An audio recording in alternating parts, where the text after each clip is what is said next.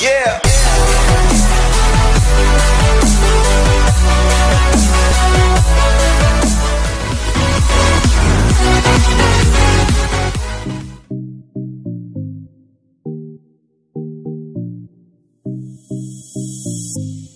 नमस्कार है मेरे नए YouTube चैनल में आप सब, बाकी सब लोग ठीक होंगे मैं आपको आज एक नया ट्रिक बताने वाला हूँ हमने आज प्याज से अपना फ़ोन चार्ज करना है। तो आपको बता देते हैं कि हमने फ़ोन चार्ज कैसे करना है।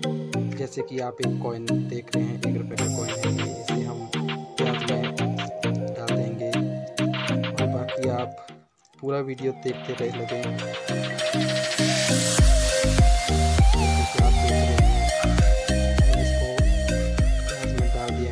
को। तो हम इसमें इसे डाल देंगे। ये आप देख रहे हो।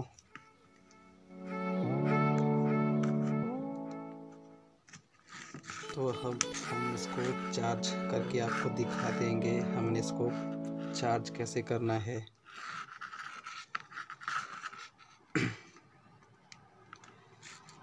ये देखो, क्या पता कुछ टाइम में ये चार्ज हो जाए, पर अभी तो नहीं हो रहा है। मैं दूसरी साइड से चेक करके आपको दिखाता हूँ। क्या पता अभी हो जाए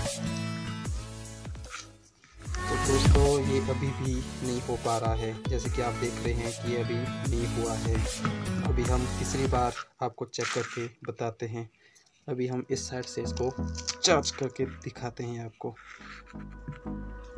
चार्ज कैसे करना है? तो देखिए, मैं आपको चार्ज करके बता देता हूँ। तो देखिए दोस्तों ये अभी भी चार्ज नहीं हो पा रहा है। आप सबको मैं ये बता दूँ कि आखिर एक प्याज से और सिक्के से फ़ोन चार्ज कैसे हो सकता है भला? ये आपकी गलत फहमी होती है। लोग ऐसे ही बेवकूफ़ बनाते हैं। उसके लिए एक ट्रिक की जाती है। उसके लिए एक फ़ोन ऐसे इसको सिक्के के डाल दिया जाता है। मैं आपको विस्तार रूप से बताऊँगा।